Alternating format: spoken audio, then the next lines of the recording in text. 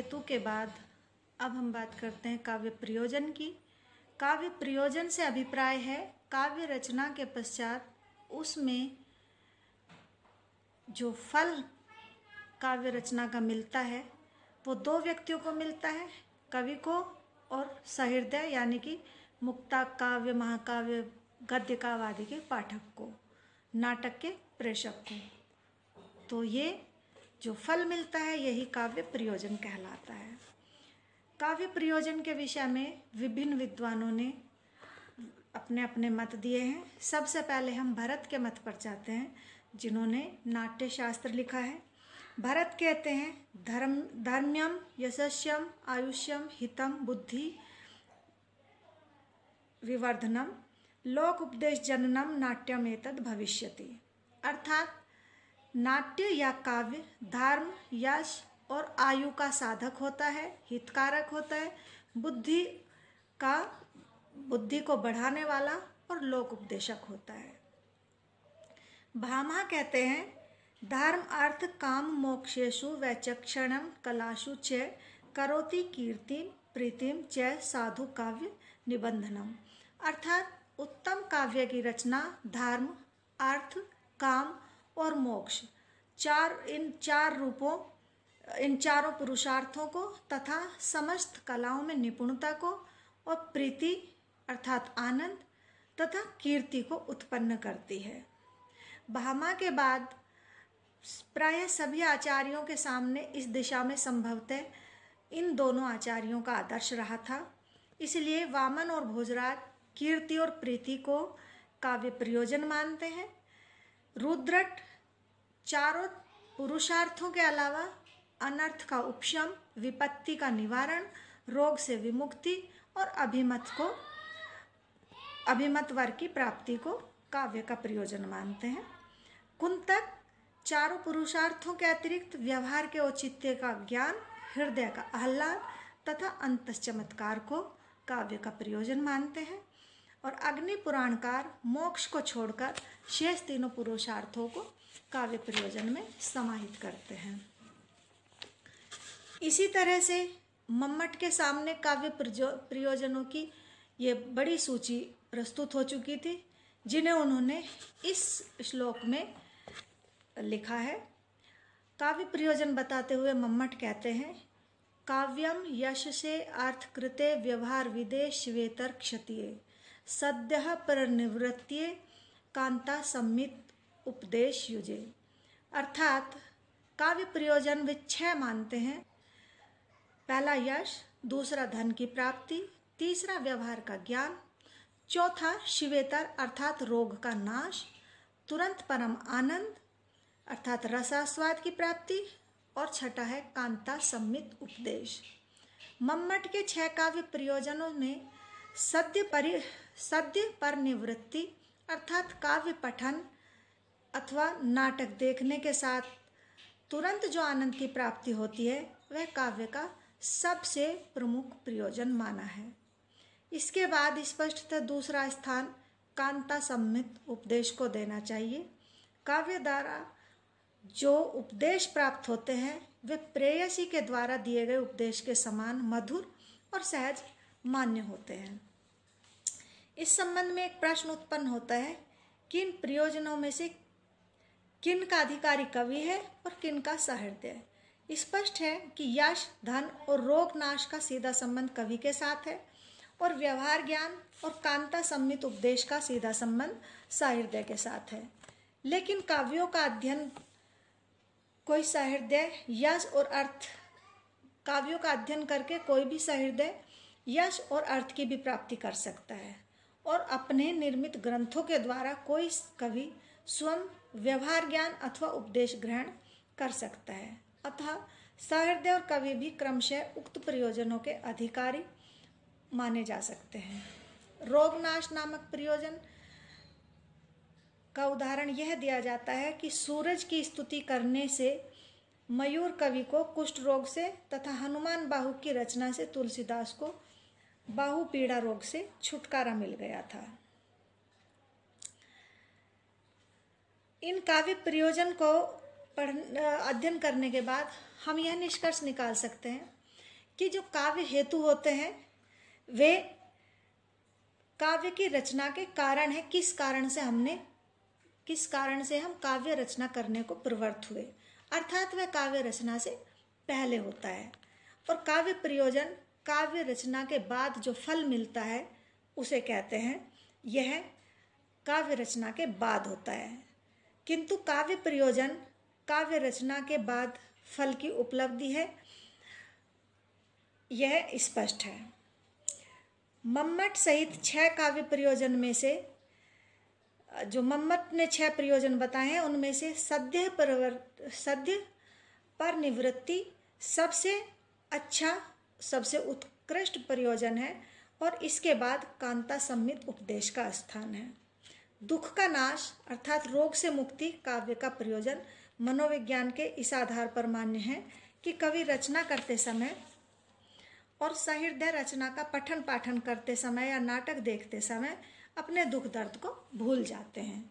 शेष काव्य प्रयोजनों का संबंध कवि और सहृदय दोनों के लिए साक्षात रूप अथवा प्रकारांतर से है। ये मत संस्कृत काव्य शास्त्र के विद्वानों के थे। पाश्चात्य काव्य शास्त्र में भी काव्य प्रयोजन दिए गए हैं। पाश्चात्य काव्य शास्त्र के अनुसार प्लेटो से लेकर आई ए रिचर्ड्स तक अनेक मनीषियों ने काव्य प्रयोजन पर अपने अपने विचार प्रकट किए हैं। विषय के आधार पर हम इन्हें तीन वर्गों में बांट सकते हैं। पहला लोक मंगलवादी यानी उपयोगितावादी।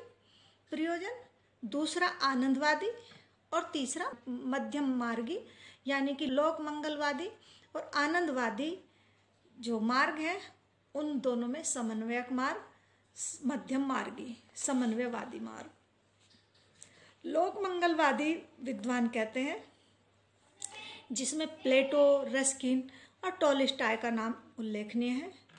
प्लेटो ने लोकमंगल को काव्य का चरम प्रयोजन स्वीकार किया है। और वे कहते हैं कि आंतरिक उदात्त भाव और सौंदर्य का उद्घाटन, लोक व्यवस्था और न्याय संगतता के परिपालन और जगत के सत्य रूप को अभिव्यक्त करने के लिए काव्य की सर्जना की जाती है।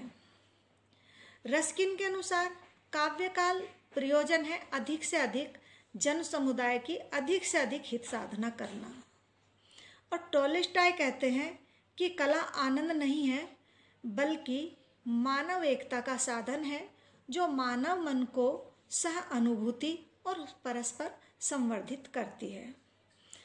इन तीनों काव्याचारों के, काव्याचार्यों के अतिरिक्त नवशास्त्रवादी युग के अनेक चिंतकों ने भी काव्य के द्वारा आह्लाद प्राप्ति की अपेक्षा नीतिपरक उपदेश पर ही अधिक बल दिया है।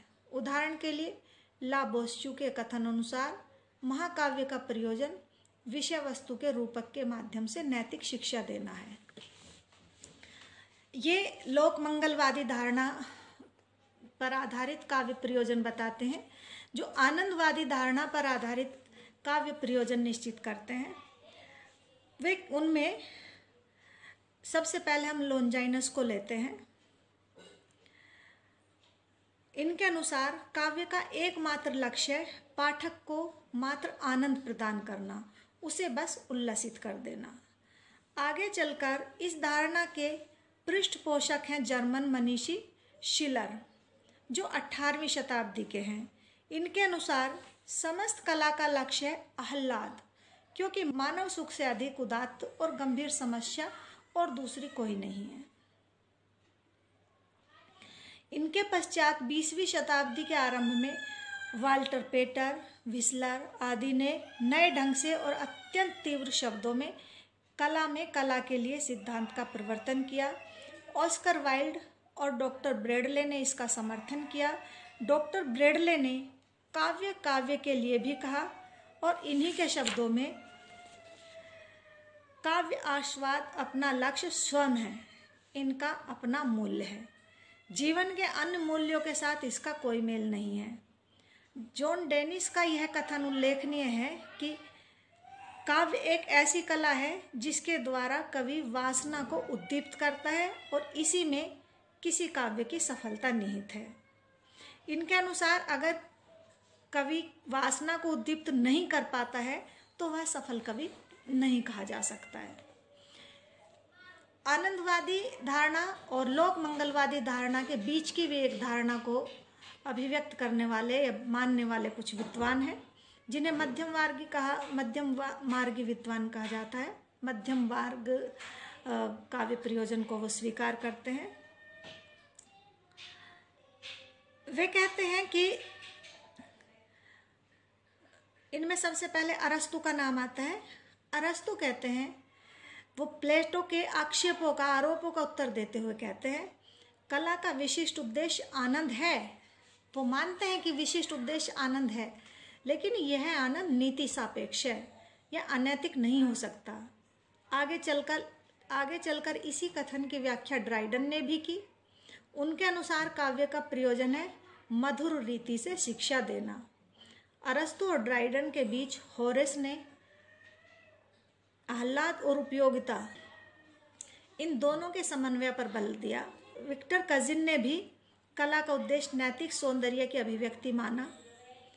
कॉलरिज के अनुसार कवि अपने पाठक को नीति का उपदेश देता है, पर इस उद्देश्य का प्रारंभ प्राथमिक माध्यम आनंद है।